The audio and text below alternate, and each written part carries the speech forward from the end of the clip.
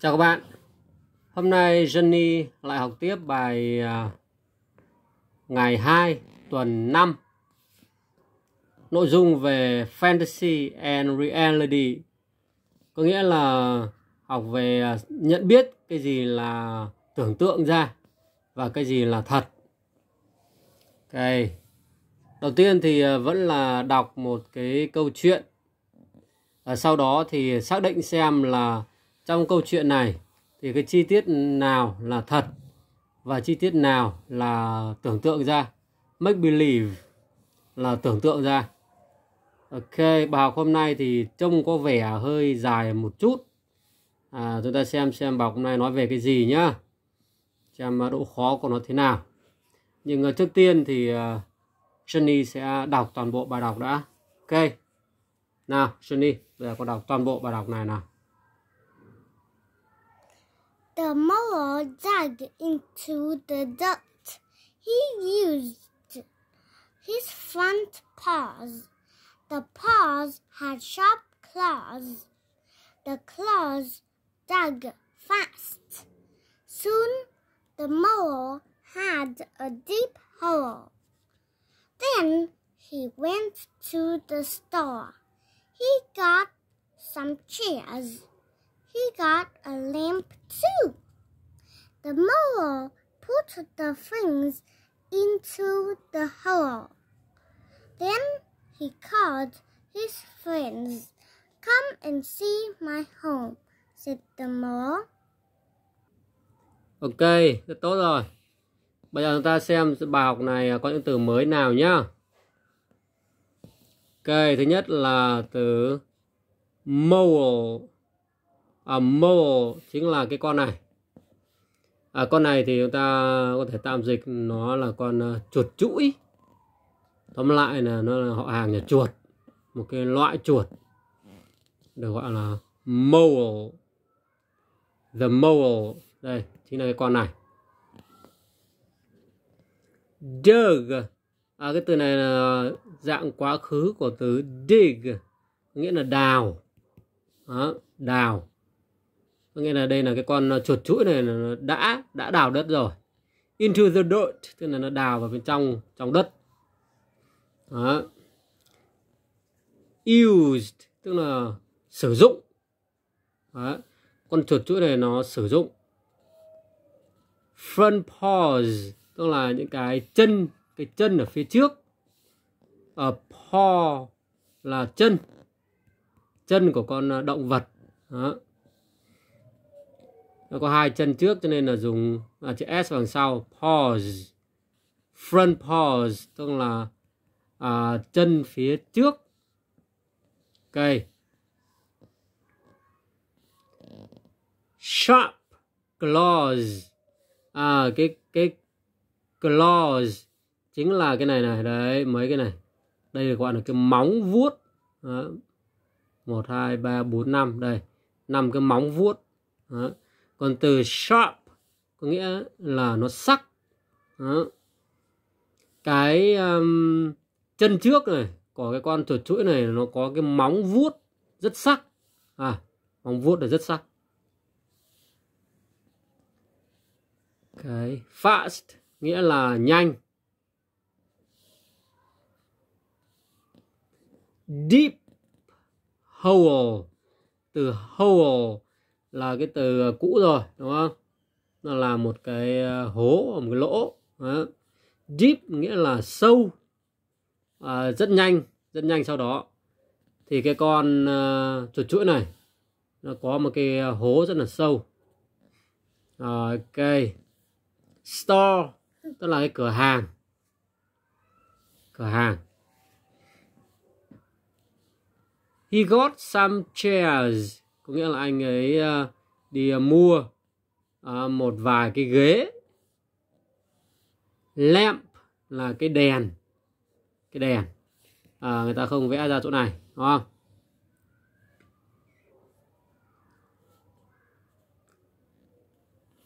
Ok. Friends đấy là bạn called là nó gọi gọi bạn của anh ấy. Come and see my home. à, đến và và xem cái nhà của tôi. Ok đấy như vậy là à, nội dung của toàn bộ của cái bài này là có một con chuột chuỗi à, chuột chuỗi này nó đào một cái hố nó sử dụng cái chân trước của nó. Cái chân trước của nó thì có nhiều những cái móng mà vuốt rất là sắc. À, sau đó thì sau khi nó đào xong á thì nó đi đến cửa hàng và nó mua uh, những cái ghế và một cái đèn. Rồi nó bỏ những cái đồ này vào trong cái uh, hố vào trong cái nhà của nó. Rồi nó gọi bạn nó đến. Ok. Thì đây là toàn bộ cái nội dung của cái bài học ngày hôm nay.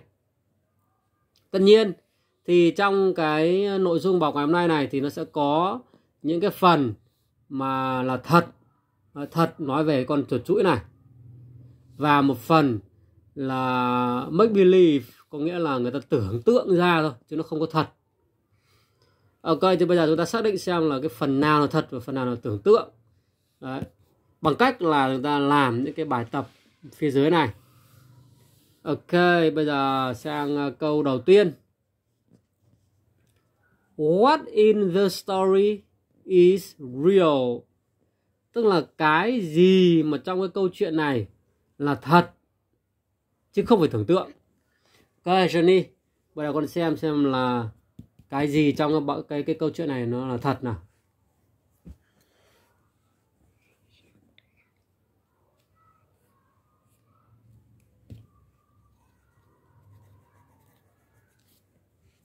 Ok, Johnny đã chọn đáp án là A. The mole has sharp claws. Có nghĩa là cái con chuột chuỗi này thì nó có những cái móng vuốt rất là sắc. Đúng rồi. Đây, chân nhìn móng vuốt đây này, rất sắc luôn. Ok, và trong cái cái cái câu chuyện này nó cũng nói đây. The paws had sharp claws. Tức là những cái chân trước của nó thì có những cái móng vuốt à, rất là sắc. Ok, thì đấy là cái chi tiết thật nói về cái con chuột chuỗi. Thế còn cái chi tiết mà không thật, đây. The mole talks like a person. À, một con chuột chuỗi mà nói giống như là một người. Đây là chi tiết không thật. Chi tiết người ta tưởng tượng ra. The mole goes to a store. À, cái con chuột chuỗi này nó đi tới cửa hàng. Thì cái chi tiết này cũng được tưởng tượng ra chứ không có thật. Ok. Tiếp theo, câu số 2. Câu số 2 này thì à, hỏi ngược lại cái câu thứ nhất này. À, câu thứ nhất này thì chúng ta tìm xem đâu là cái chi tiết thật. Còn cái câu thứ hai này thì tìm xem đâu là chi tiết tưởng tượng. What in the story is make believe? Make believe tức là tưởng tượng ra. À, tức là không có thật. Sunny, con lại tìm xem là cái chi tiết nào là chi tiết tưởng tượng trong cái bài này nào.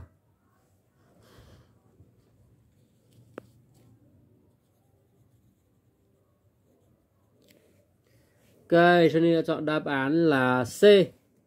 A mole gets chairs. À, cái ờ, một cái con uh, chuột chuỗi nó đi uh, mua một vài cái ghế. Thì đây là chi tiết tưởng tượng. Con chuột tôi đi mua ghế là tưởng tượng rồi, đúng không? A mole digs digs a hole.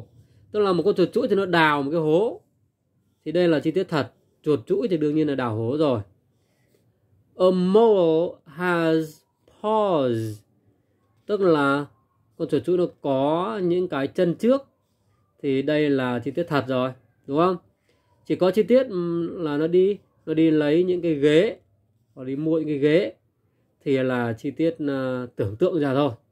Ok, như vậy đáp án đúng là C. Rồi à, ta sang câu số 3 What can really happen? Cái gì có thể thực sự xảy ra? Ok, thực sự xảy ra. Sunny bây giờ con xem xem là cái gì là cái mà thực sự xảy ra nào.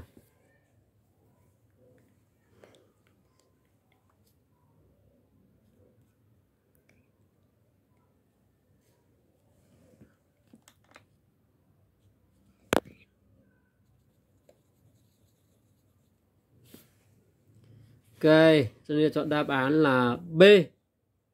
An animal can make a hole in the ground. Nghĩa là à, một cái con động vật có thể à, tạo ra một cái hố ở bên dưới đất. Đúng rồi. Cái điều điều này là điều thực sự xảy ra. Một con động vật ví dụ như là chuột chẳng hạn, đấy, có thể tạo ra một cái cái hố ở bên dưới dưới đất. Bây ta xem ra án A nào. An animal can shop at a store. Một con động vật thì có thể đi mua sắm ở một cái cửa hàng. Không, không mua sắm được. Động vật không thể mua sắm được, đúng không? Ok, rồi. Động vật cũng làm gì có tiền mới đi mua sắm. Yeah. Ok. Tiếp theo, an animal can need a lamp. Một con động vật thì cần một cái đèn. Không động vật nó không cần đèn.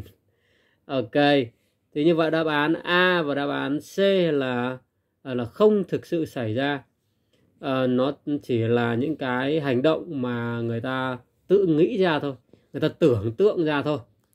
Chứ nó không có thật. Ok tiếp theo Johnny bây giờ sang câu uh, cuối cùng câu uh, số 4 nào.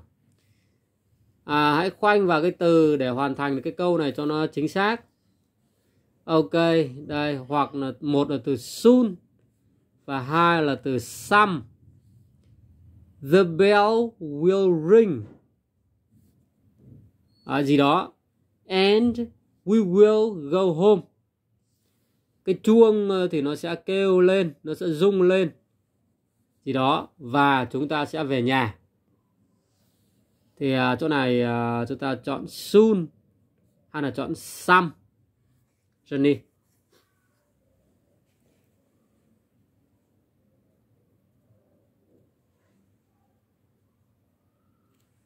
Ok, Johnny đã chọn đáp án là soon.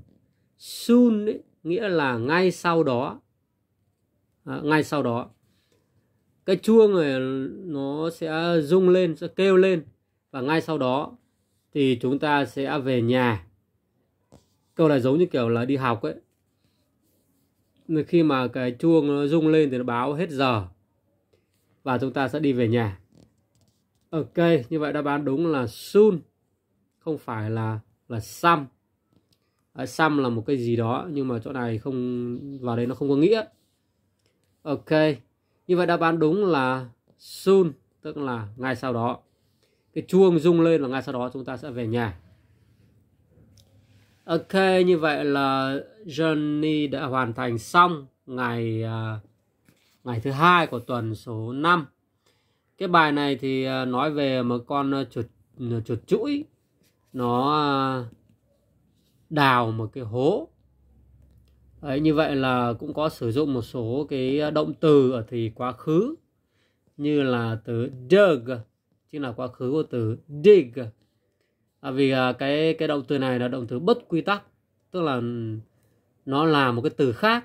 À, thể ở nguyên thể của nó là dig trở sang quá khứ là dug thế còn từ use thì là động từ quá quy tắc. À, chúng ta chỉ thêm ed vào sau thôi bản thân cái chữ use, đây, nó đã có sẵn cái âm y rồi. Như vậy chúng ta chỉ việc thêm âm d thôi, chứ không cần phải thêm cả ed nữa, vì tại vì cái âm cuối cùng của của nó là âm y có sẵn âm y rồi. Như vậy, cái từ này là từ, động từ có quy tắc, chúng ta thêm ed vào sau thôi. Đó. ok, như vậy là, và hoặc ví dụ đây đây là từ từ got, thì nó cũng là động từ bất quy tắc à, nguyên thể của nó là get. Get. Trở sang quá khứ là got. Có nghĩa là chúng ta có thể đi lấy hoặc có thể đi mua. Đó get. Got. Ok. Đó. À, thêm một cái nữa là đây cái động từ này. Cái động từ put này. Đây là một động từ tương đối đặc biệt. Ở nguyên thể của nó là put nhưng quá khứ của nó cũng vẫn là put. À, các động từ này không có thay đổi. À, đây chính là thể trong trong toàn bộ cái câu này chính là nói về quá khứ tức là là kể lại cái câu chuyện về cái công việc mà cái con chuột chuỗi này nó đã làm. Đấy và cái động từ này được giữ tức là cái động từ này không thay đổi. Hiện tại cũng thế quá khứ cũng vẫn như này không thay đổi đây. Đây là một động từ uh, có quy tắc nữa. Là động từ call tức là gọi. Đó, từ call. Và khi mà chuyển sang quá khứ thì chúng ta chỉ thêm ed vào đằng sau thôi. Và cái chữ ed này thì được đọc là d. Đấy, called. Called. Ok. Đây một động từ bất quy tắc cuối cùng trong bài ngày hôm nay đây đây là động từ à, nói. Cái con chuột chuỗi này nói. Thì nguyên thể của nó là xây. À, xây. Và đây là quá khứ của nó là said. Said. Thì động từ này cũng là động từ bất quy tắc. Đó. như vậy trong à, bài này có một số động từ bất quy tắc. Động từ uh, đây. Dig. Ờ, à, bất quy tắc. À đây đây quên quên. Còn à, thêm thêm thêm đây nữa. À, còn thêm một vài động từ nữa. Đây từ này cũng là bất quy tắc này. À, trên này là chữ have. Và chuyển sang quá khứ là had. À, had. Đấy. và đây là động từ bất quy tắc nữa là go. Thì chuyển sang quá khứ là went. À, went rồi đấy như vậy là động từ bất quy tác đấy. Ừ. Get got. Rồi. Called. Đấy, call và called. Say said. Riêng từ put này vẫn là put. Rồi từ này đặc biệt. Ok. Rất tốt rồi. Cái bài này à, cũng tương đối ờ, hơi hơi khó một chút tại vì uh, sử dụng rất nhiều uh, động từ và một số thì à, ở dạng là có quy tắc và một số thì ở dạng là bất quy tắc Uh, ok. Goodbye.